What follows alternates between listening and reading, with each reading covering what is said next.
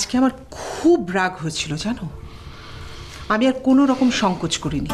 ওর মুখের উপর বলে দিয়েছি আসার যে বাড়ি থেকে চলে গেছে এর জন্য ওই দায়ী। তোমার ছেলে অসৎ পথে যাচ্ছে তুমি তাকে বাধা দেবে না। আর তোমার ছেলে সব অন্যায় করবে সব দোষ দিয়ে দিবে আমার বৌমার উপরে। ঠিকই বলেছ। ওই শুয়োরানি শুয়োরাজা ওরা যদি আমার বোনের সাথে দুষ্টুমি করে তাহলে কিন্তু তুমি আমাকে ফোন করে সব জানাবে ঠিক আছে? তারপরে দেখো আমি ওই শুয়োরানি আর শুয়োরাজাকে এমন শাস্তি দিব। মনে থাকবে তো? থাকবে। ও ওই যে ও যে আমার নতুন বন্ধু সাহারিয়ার আর ও- জ্যোৎস্না ওদেরকে তো আমি বাই বলতে ভুলে গিয়েছি।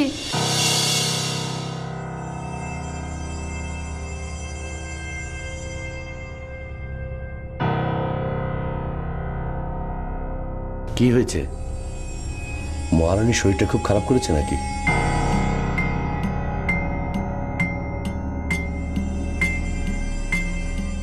মহারানী না ছাই। আমার শরীর খারাপ না। আমার মন খারাপ। আহা কি হয়েছে? এত খেপে আছো কেন? তোমার ভাবি আমাকে অপমান করেছে। হ্যাঁ সে তো অনেক আগে। তারপর আমি তোমাকে বোঝালাম তারপর তুমি শান্ত হয়ে গেলে। করেছে। আবার কেন? পুষ্পিতা জেনে গেছে যে আস্মিতার ব্যাপারে আমরা পুষ্পিতাকে ভুল বুঝিয়েছি। কি করে? ওই শাহরিয়ার?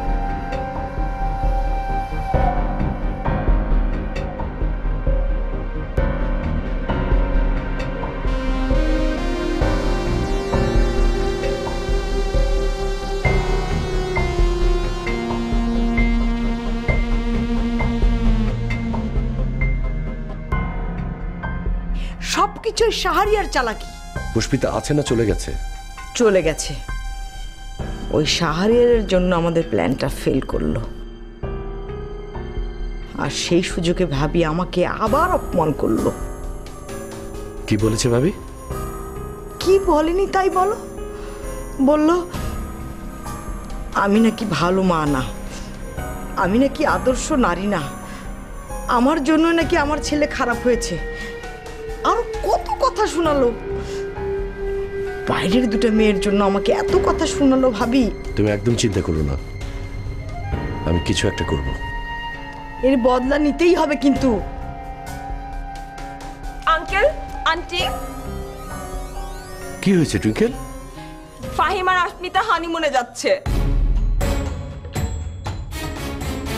কে বলল তোকে? আঙ্কেল আমি রেবেকা আন্টির রুমে গিয়েছিলাম। আমি ওখানে গিয়ে শুনলাম আঙ্কেল আর আন্টি মিলে আস্মিতা আর ফাহিমকে হানিমুনে পাঠান কি বিষয়? ওদেরকে ওদেরকে হানিমুনে পাঠাচ্ছি। তাই ওকে এত খুশি দেখাচ্ছে। তাই? কবে? কোথায়? কক্সবাজার। আমি চেয়েছিলাম যে ওরা দেশের বাইরে কোথাও যাক। কিন্তু তোর ভাবি বৌমাকে আর ছেলেকে কিছুতেই দেশের বাইরে যেতে দেবে না। তাই কক্সবাজার পাঠাচ্ছি দু চার দিন ঘুরে আসো খুব ভালো করেছ ভাইজান। ওদের একটু একা থাকা উচিত। কিন্তু কবে যাচ্ছে? আজকেই আজকেই? হ্যাঁ। না না। ভাইজান আজকে কি করে যাবে? আজকে তো ফাইম ঢাকার বাইরে যেতে পারবে না। কেন? কি সমস্যা? ভাইজান মানে অফিসে তো ফাইমের এখন অনেক কাজ। আর ফাইম যদি এখন চলে যায় তাহলে ওর কাজগুলো কে করবে? ওর নতুন অ্যাসাইনমেন্ট ড্রিম প্রজেক্ট কাজেই ফাইমের এখন ঢাকার বাইরে যাওয়া মোটেও ঠিক হবে না। জুলফি কাজের জন্য তো কারও জীবন আটকে থাকে না। জীবনের জন্য কাজ জরুরি কিন্তু তার মানে তো এই দাঁড়ায় না যে কাজের বাহানায় আমরা সবকিছুকে অবহেলা করব। কিন্তু ভাইজান জুলফি আমি তো আছি। আমি অফিসে যাব। ফাইন যা রেডি হয়ে নে জি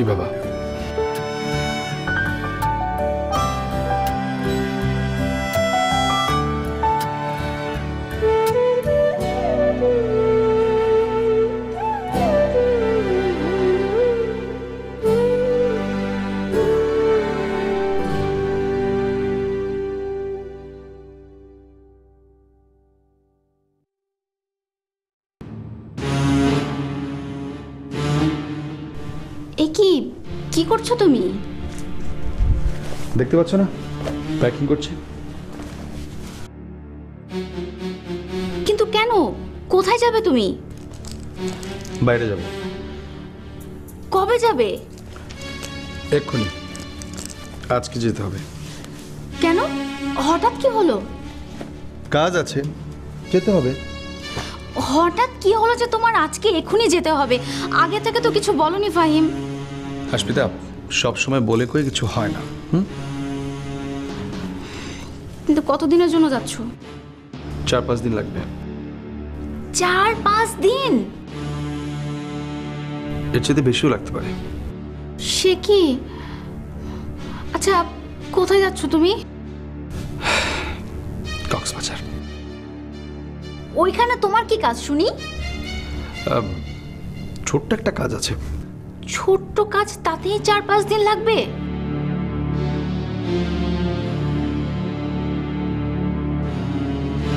আমার কজন? বন্ধু বান্ধবও যাবে। ওদের সঙ্গে ঘুরে বেড়াবো মজা করব। কি? তুমি আমাকে ছেড়ে তোমার বন্ধুদের সাথে মজা করতে যাবে? কি করব বল? কেউ তো তাদের ওয়াইফকে নিয়ে যাবে না। আমি তোমাকে কি করে নিয়ে যাই? তাছাড়া মা আছে দাদি আছে চাচু চাচি সবাই আছে। তোমার লনলি ফিল হবে না। থাক আমার কথা তোমাকে আর একদম ভাবতে হবে না। তুমি তোমার বন্ধুদের সাথে মজা করো আড্ডা দাও যাও।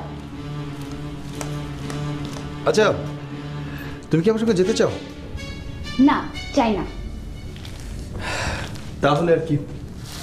আমাকে কুইন্সিন আমার কাঙ্গানার মতো একা একা হানিমুনে যেতে হবে। মানে?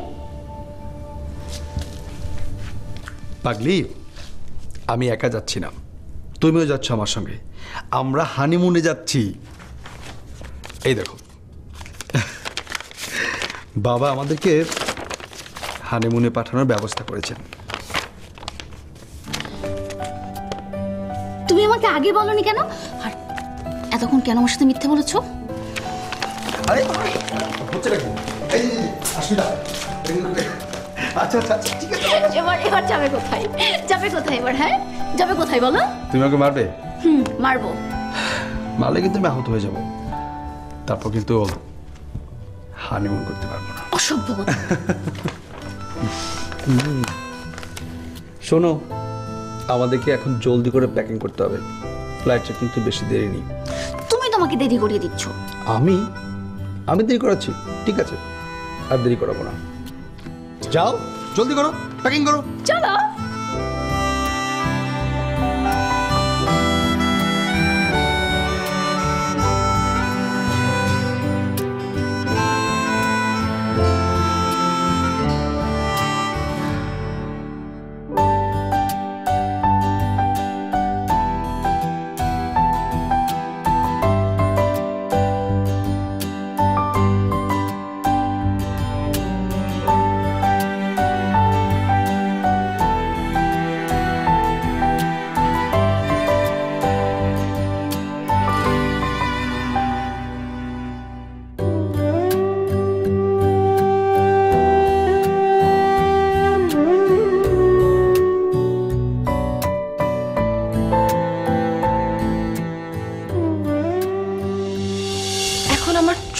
সামনে দিয়ে আস্মিতা আর ফাহিম হানিমুনে যাবে।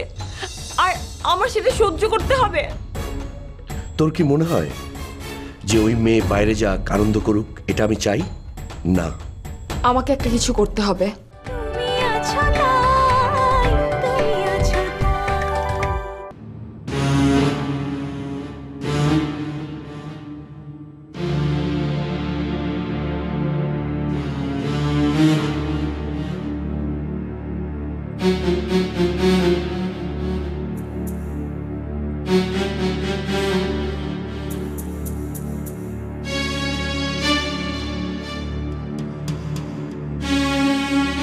আন্টি আঙ্কেল কোথায়? কেন? তোর আঙ্কেলকে কি দরকার? বারে তুমি ভুলে গেলে? ফাহিম আর আস্মিতা যেন হানিমুনে যেতে না পারে সেই বিষয়ে আঙ্কেলের কিছু করার কথা আছে? অবশ্যই করবে। তোর আঙ্কেল একটু বাইরে গেছে। নিশ্চয়ই কিছু একটা করবেন। তুই এত চিন্তা করছিস কেন?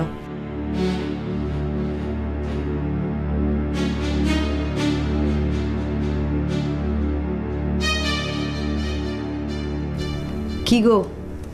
লাইলি মজনুর হানিমুন ক্যান্সেল করতে পেরেছ তো? না। ওরা যাচ্ছে। যাচ্ছে মানে?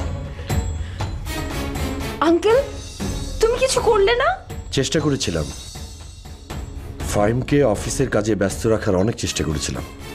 কিন্তু ভাইজান তো আমার একটা কথাও শুনলো না। আঙ্কেল তুমি একটা ডিফারেন্ট কিছু প্ল্যান করতে পারতে? এখন আমার চোখের সামনে দিয়ে আস্মিতা আর ফাহিম হানিমুনে যাবে আর আমার সেটা সহ্য করতে হবে। তোর কি মনে হয় যে ওই মেয়ে বাইরে যাক আনন্দ করুক? এটা আমি চাই? না। আমাকে একটা কিছু করতে হবে। কি করবি তুই? দেখ টুইঙ্কেল মাথা গরম করে কিছু করতে যাস রে। যাতে তুই আবার ভাইজান আর ভাবির কাছে খারাপ হয়ে যাস। হ্যাঁ তোর আঙ্কেল ঠিকই বলছে। আস্মিতা এ বাড়ি থেকে বিতাড়িত হবার পর এই বাড়ির বউ তুই হবি। মনে রাখিস সেইভাবে কিছু করতে হবে তোকে। কি করতে চাইছিস তুই? জানি না আমি তবে কিছু একটা আমি করবই। কিন্তু আমি যেটা বললাম সেটা মনে রাখিস।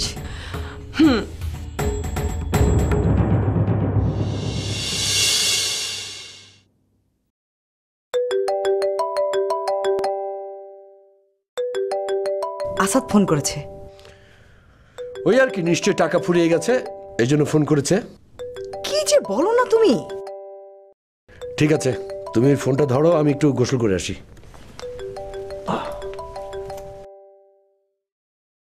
হ্যাঁ। হ্যালো আসাদ। কেমন আছিস বাবা? না মা ভালো নেই। কেন? ভালো নেই কেন? কি হয়েছে? মা একা একা ভালো লাগছে না। তাই একটু ঘুরতে যাচ্ছি। ঘুরতে যাচ্ছিস? কোথায়? এই কাছাকাছি দুই চার দিনের জন্য। ঠিক আছে। যা। কিন্তু সাবধানে থাকিস বাবা। মা শোনো। কিছু টাকা লাগতো। ঠিক আছে, আমি বাইরে গিয়ে এসে পরিবহনের মাধ্যমে পাঠিয়ে দিচ্ছি। কিন্তু শোন, তোর বাবাকে কিন্তু আবার কিছু বলিস না, ঠিক আছে? ফাহিম আস্মিতা তোমাদের হানিমুনে যাওয়া হলো না। এখন তোমাদের ছুটে বাড়িতে আসতে হবে। কিন্তু ওরা যদি রেবেকান্তিকে ফোন করে? না না, একটা ব্যবস্থা করতে হবে। ফোনটা সাইলেন্ট করে লুকিয়ে রাখতে হবে, যেন আন্টি ওয়াশরুম থেকে এসে ফোনটা খুঁজে না পায়।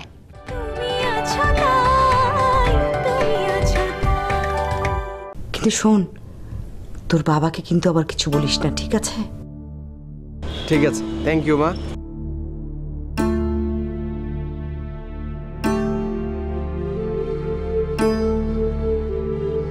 আস্মিতা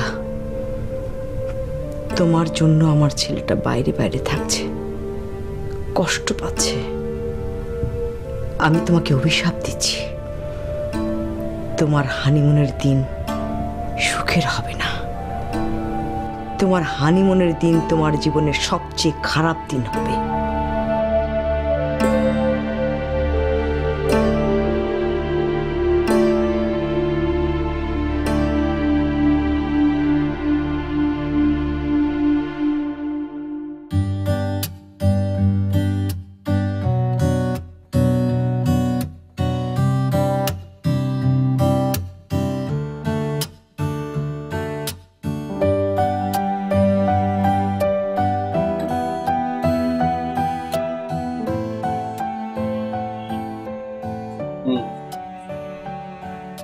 তো কেন? খুশি না তুমি? না না ফাহিম আমি খুব খুশি। তোমার চেহারা দেখে কিন্তু সেটা বোঝা যাচ্ছে। আসলে আসার সময় সবার সাথে দেখা করা হলো না। মর্জিনা আর কাশিমকে ওদের কাজগুলো বুঝিয়ে দিয়ে এলাম না। আর? আর দাদি আর বাবার ওষুধগুলো হাতের কাছে রেখে এলাম না। তুমি না? আচ্ছা বাড়িতে তো অনেকে আছে। আর তুমি যখন আসনি তখনও কিন্তু আমাদের বাড়িতে কাজগুলো হতো। ও তো ফাহিম কিন্তু এখন তো এগুলো আমার দায়িত্ব। আমার তো সব ঠিক করে করে রাখা উচিত ছিল। কি করবে বলো? বাবা এত জলদি এত অল্প টাইমে সারপ্রাইজ দেবে কে জানতো? আর এত অল্প টাইমে আমরা যে রেডি হয়ে আসতে পেরেছি এটাই অনেক। করি মর্জিনা আর কাশিমকে ফোনে কাজগুলো বুঝিয়ে দিই কি বলো? তোমাকে কিচ্ছু করতে হবে বাড়িতে মা আছে জ্যেষ্ঠ চাচি আছে তারাই সব কিছু তুমি শান্ত হয়ে বসো। সারাদিন শুধু কাজ আর কাজ বেড়াতে যাচ্ছি কি কি করব? কোথায় প্ল্যানিং করবে তা না। তুমি আছো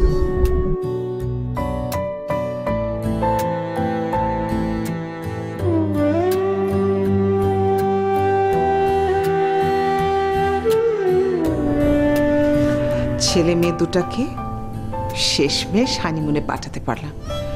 এখন আমি নিশ্চিন্ত। চাই গোসলটা সেরে আসি।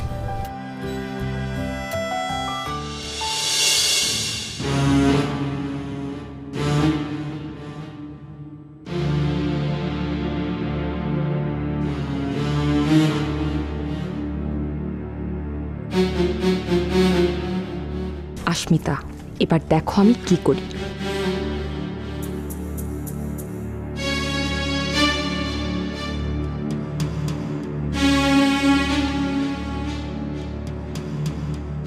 ফাহিম, আসমিতা, তোমাদের হানিমুনে যাওয়া হলো না। এখন তোমাদের ছুটে বাড়িতে আসতে হবে। কিন্তু ওরা যদি রেবেকান্টিকে ফোন করে, না না, একটা ব্যবস্থা করতে হবে। ফোনটা সাইলেন্ট করে লুকিয়ে রাখতে হবে, যেন আন্টি ওয়াশরুম থেকে এসে ফোনটা খুঁজে না পায়।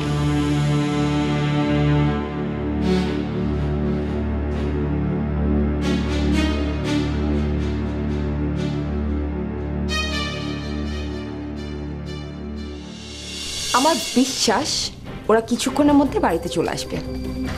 চলে এলে ভালো, কিন্তু আমার মন বলছে তোর প্ল্যানটা ফেল করবে। কেন? ওরা এসএমএসটা পেল বাড়িতেও ফিরে এলো। এসে দেখল ভাইজান অসুস্থ না। তখন তো আবার চলে যাবে। তোর অন্য কোনো প্ল্যান করা উচিত ছিল। আন্টি ওরা একবার বাড়িতে এলে আর ফিরে যেতে পারবে না। বিশ্বাস করো এই এস এম এস আমি পাঠাইনি। আর আমি কেন এস এম এস পাঠাবো? তোর বাবা তো ভালোই আছে। তাহলে কে পাঠালো? সেটাই তো প্রশ্ন। আপা তোমার ফোনটা কোথায়? অনেকক্ষণ ধরে তো আমার মোবাইলটা খুঁজে পাচ্ছি না। আছি কোথাও মনে হয়। ফাইন তোরা দেরি না করে এখনই রওনা দিয়ে দে বাবা। না মা। এখন আর গিয়ে কোনো লাভ নেই। ফ্ল্যাট ছাড়ার সময় হয়ে গেছে।